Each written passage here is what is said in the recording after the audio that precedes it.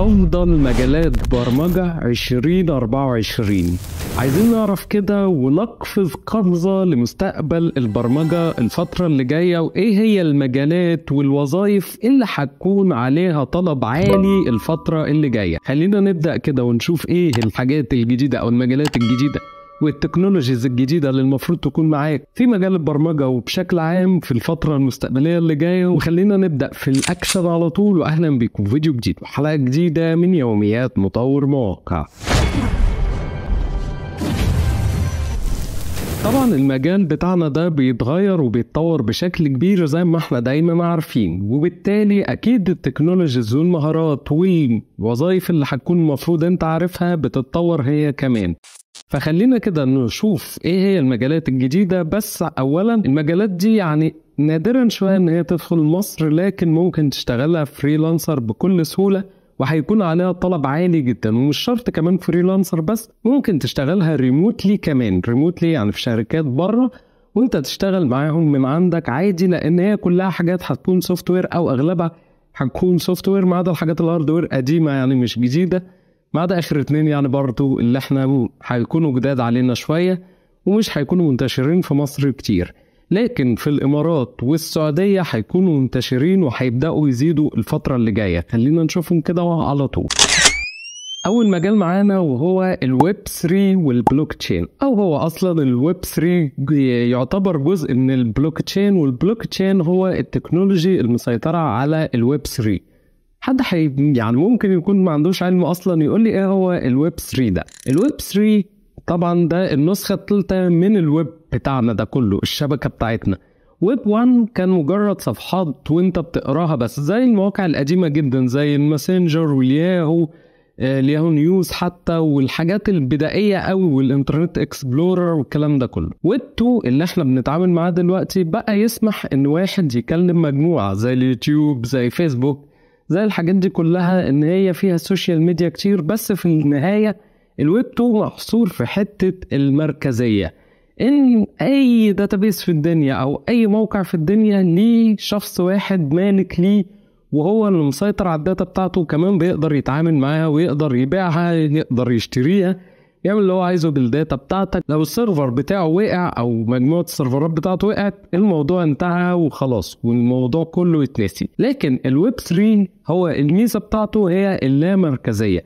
ال data بتاعتنا بتتشفر وبعد ما بتتشفر بتبدأ تتوزع على أكتر من نقطة أو أكتر من جهاز على مستوى العالم كله ما بيبقى لهاش مصدر أو مركز واحد. طبعا ده هيديك ميزة التأمين إن ال data بتاعتك مش في إيد حد وطبعا هي متشفرة أصلا وهو ده البلوك تشين زي البيتكوين والعملات الرقمية. وتاني حاجة بتديك اللامركزية يعني مفيش حد بيتحكم فيك خالص ومفيش أي رقابة على أي حد في الويب 3 يعني ممكن تشوفها كده أو فكرة البيتكوين هي أشهر حاجة إحنا عارفينها عن الويب 3 وفي NFT وفي حاجات كتير جدا في الويب 3 فأنت ممكن تكون developer لل blockchain واللي من خلالها هتعمل قواعد بيانات تكون أو ال data بتاعت العملاء هتكون متوزعة بالطريقة اللي إحنا قلناها مش هيكون لها مكان واحد. طبعا هي تكنولوجيا جديدة وتكنولوجيا ليها مستقبل حتى لو مش في 2024 يعني كمان سنة سنتين هتبدأ تنتشر وتتعمم بشكل واسع جدا.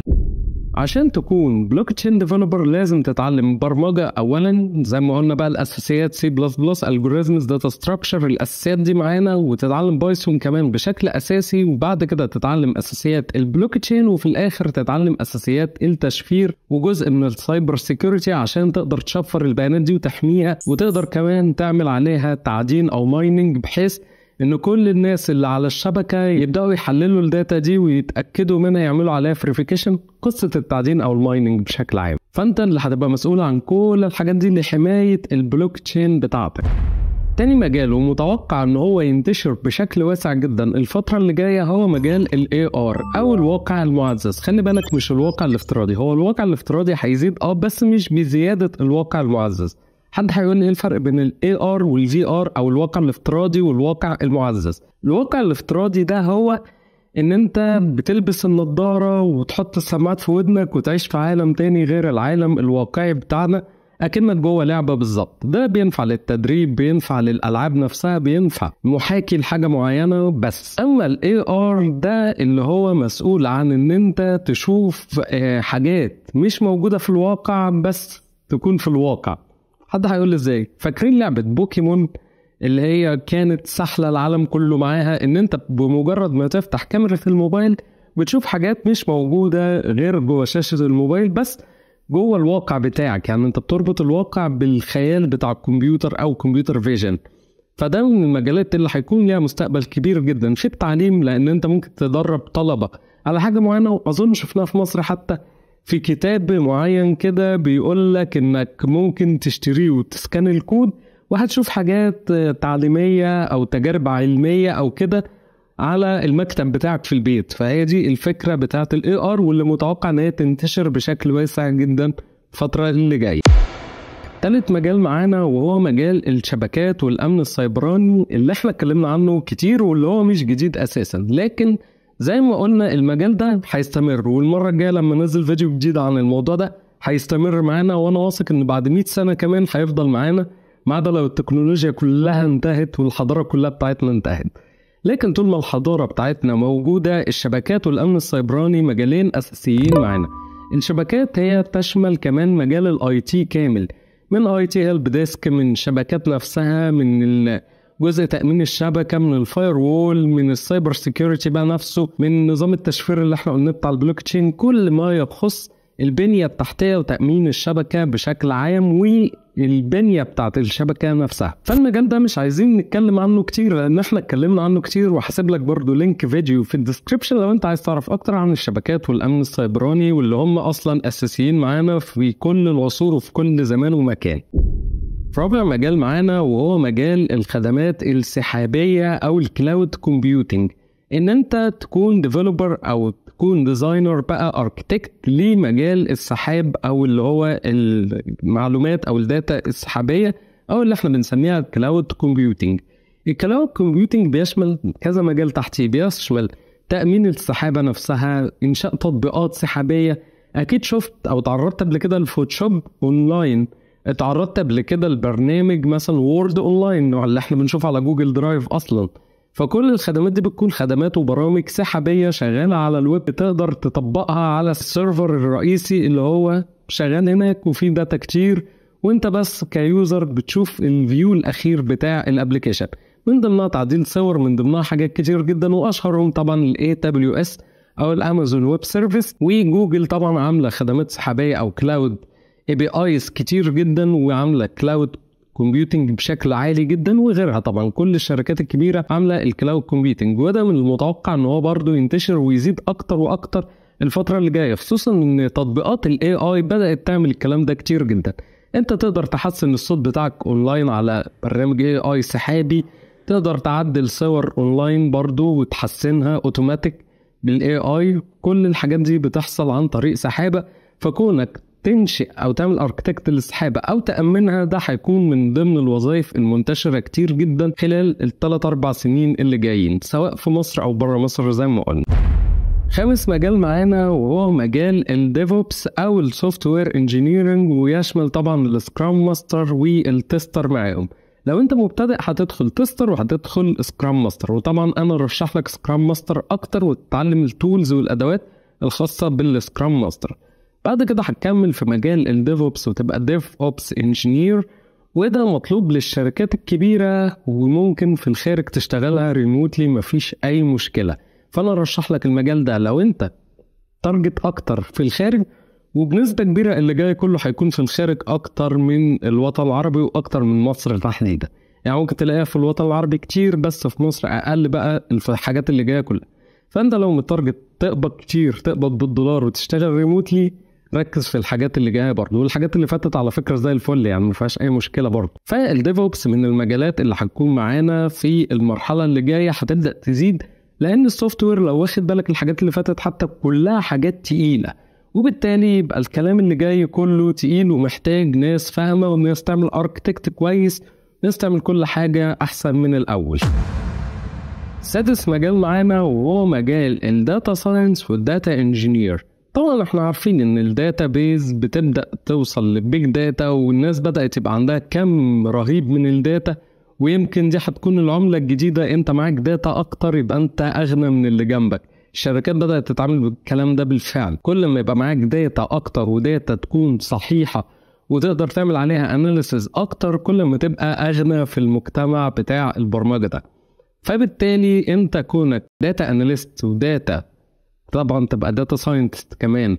وبالآخر تبقى data engineer ده هيقوي موقفك الفترة اللي جاية وخصوصا إن ال AI بلاع ال data بيحتاج data بالهبل.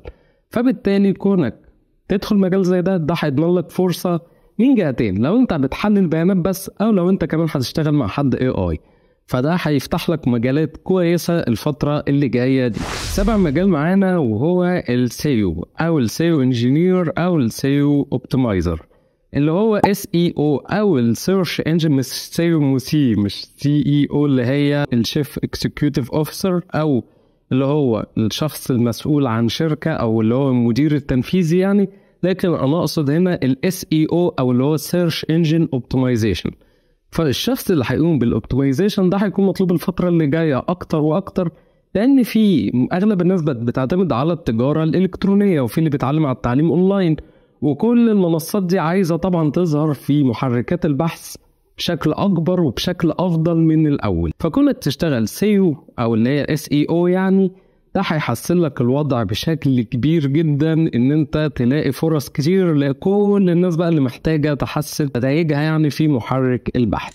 تامن مجال معانا وهو مجال تدريس البرمجة. تدريس البرمجة من المجالات اللي مش هتموت برضه لأن للأسف كده الناس برضه عندها فكرة إن أي مجال بقى برمجة هو مستقبل. إحنا آه المجالات اللي إحنا بنقولها ليها فرص كويسة بس الناس برضو مش فاهمة إن مش كل المجالات كده. لكن هتلاقي إقبال أكبر بكتير لناس عايزة تتعلم برمجة وبالتالي كونك أنت تدرس برمجة سواء في مراكز تدريب في جامعة تتعين معيد تدي دروس حتى برمجة أيا ما كانت الوسيلة بس كونك هتدرس برمجة وتبقى أصلا كفء لحاجة زي دي ده هيكون حاجة كويسة جدا ليك وهتقدر تدخل دخل كويس برضه وأنت أصلا ما بتبذلش مجهود اللي بيبذله أغلب المبرمجين بس طبعا مش متساوي. يعني لو اشتغلت أو جات لك فرصة في أي حاجة من الحاجات اللي قبل كده أو حتى الحاجات الأساسية قوي زي الويب والموبايل الحاجات اللي إحنا بنقولها من الأول دي هتكون أفضل لك شوية من موضوع تدريس البرمجة لأن هو حتى مش هيكون مستقر معاك قوي ممكن فترات تزيد وفترات تقل معاك. آخر مجالين بقى كده على السريع على طول وهو مجال السيارات ذاتية القيادة أو جزء من ال IOT وده هيكون مستقبلي قوي شوية لأن مفيش غير تسلا دلوقتي هي اللي طبعا شغالة بالنظام ده وقريبا بقى شركات العربيات كلها أو شركات السيارات هتبدأ تطور الجزئية دي. فكونك تشتغل في الجزئية دي هيكون كويس ليك ودي تندرج تحت آخر مجال معانا وهو مجال ال AI واللي بدأ انتشاره بشكل واسع جدا خارج. إحنا كده أهو بنتكلم عن خارج مصر لكن في مصر هو قليل. طبعا إحنا اتكلمنا عن تفاصيل مجال ال AI بشكل كبير والأقسام بتاعته والحاجات دي كلها ممكن أسيب لك ال link بتاعه برده في ال description لو عايز تفاصيل أكتر عن مجال ال AI وبس دي كانت أشهر كده مجالات. هتكون الفترة اللي جاية مستقبلا وهتكون هي مستقبل البرمجة ومجالات أعتقد جديدة على أغلب الناس اللي بتسمعني وتتابعني. إن شاء الله أكون أفدتكم بالمعلومات دي وأتمنى إن الفيديو يكون عجبكم وافدكم لو عجبك ما تنساش تديني أحلى لايك وما تنساش تشوف الحلقات والحكايات والكورسات اللي فاتت وتستنى الحلقات والحكايات والكورسات اللي جاية. وانزل اشترك في القناة عشان يوصلك كل جديد وعشان ما تبقاش من الهوايه